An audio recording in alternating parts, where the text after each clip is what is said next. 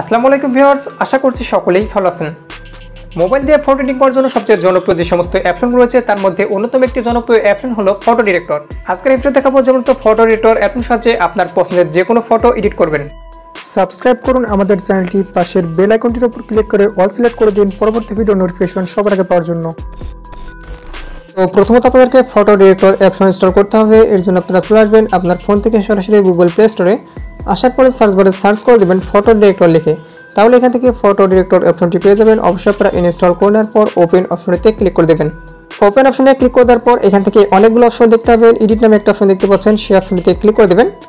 তারপর এখান থেকে ভিউয়ার্স আপনার এখান থেকে ফোনে যে সমস্ত ফাইলগুলো রয়েছে, ছবির ফাইল অবশ্যই এখান থেকে সেই ফাইলগুলো শো করবে।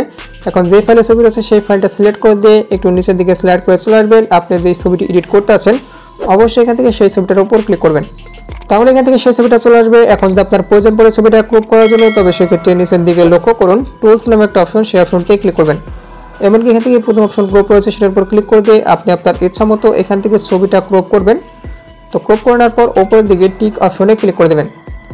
ক্লিক করে পর ভিউয়ার্স এবার আমাদের এডিট করার পালা। তো এখান থেকে লক্ষ্য করুন, আমার যে ছবিটা রয়েছে ফেসটা কিন্তু ক্লিয়ার না। তো এটা আমরা ক্লিয়ার করব। আর ক্লিয়ার করার জন্য দ্বিতীয় অপশন দেখতে পাচ্ছেন অ্যাডজাস্ট নামে একটা অপশন সেই অপশনে ক্লিক করবেন। এরপর এখান থেকে স্লাইড করে একটু এই সাইডের দিকে চলে আসবেন। তাহলে কি পাচ্ছেন লাস্টে এইচ এসএল নামে একটা অপশন সেই অপশনে ক্লিক করবেন। তো ফেসটা আমাদের ক্লিয়ার করার জন্য এবার আপনি দেখতে পাচ্ছেন বিভিন্ন কালার রয়েছে। তো এইখান থেকে প্রথম রেডটা রয়েছে রেডটা সিলেক্ট থাকবে। তো দ্বিতীয় দেখতে পাচ্ছেন তিনটা দাগ। তো দ্বিতীয়টা দেখতে পাচ্ছেন, সেটা আপনি এখান থেকে একটু কমিয়ে দেবেন। হালকা কমে বেশি কমবে না, তবে সেক্ষেত্রে শাড়ির কালারটা পরিবর্তন হয়ে যাবে।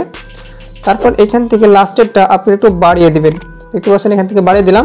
ঠিক আছে পরের কালারটা সিলেক্ট করে আপনারা একটু কমিয়ে দিবেন আর লাস্টেরটা একটু বাড়িয়ে দিবেন।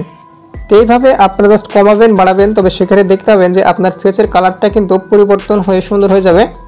তারপর এখান থেকে টিক অপশনে ক্লিক করে দেবেন। অন্যান্য কালারগুলো দিয়ে আপনারা ঠিক একইভাবে করে নেবেন।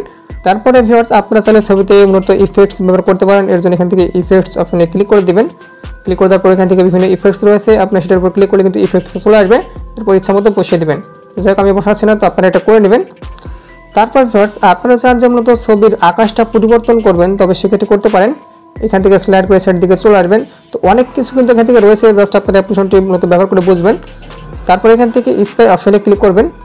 স্কাই অপশনে ক্লিক করে দেওয়ার পর, এখান থেকে ভিউয়ার্স, আপনারা লক্ষ্য করুন, এখান থেকে স্কাই কিন্তু চলে আসবে, বিভিন্ন রকমের স্কাই রয়েছে। আপনার পছন্দ মতো আপনি এখান থেকে মূলত সিলেক্ট করবেন। তো মন টুল আমি যেটা দেখতে পাচ্ছেন, আমি এখান থেকে সেটা সিলেক্ট করছি। তো আপনি আপনার ইচ্ছা মতো সিলেক্ট করবেন। সিলেক্ট করে দেওয়ার পর এখন আপনারা কোনটা এডিট করবেন? তো এখান থেকে কিন্তু বিভিন্ন রয়েছে। দেখতে পাচ্ছেন এই সাইডে কিন্তু বিভিন্ন রকম রয়েছে।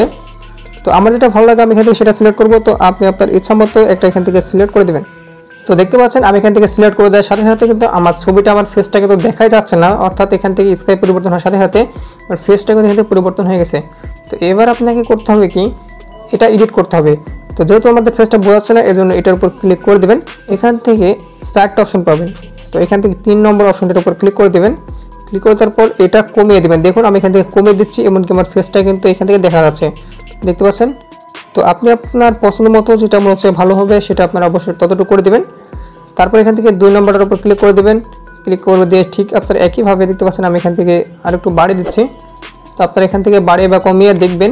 তো সেরকম যদি তখন ভালো মনে হয়, তবে সেক্ষেত্রে আপনার এখান থেকে উপরের দিকে টিক অপশনে ক্লিক করে দেবেন। তো এবার ছবিটা আপনাদের সেভ করতে হবে। ছবিটা সেভ করার জন্য ওপর দিকে পাচ্ছেন ফটো ডিরেক্টর পাশে এখান থেকে ডাউনলোড অপশন সেই অপশনটিতে ক্লিক করে দেবেন।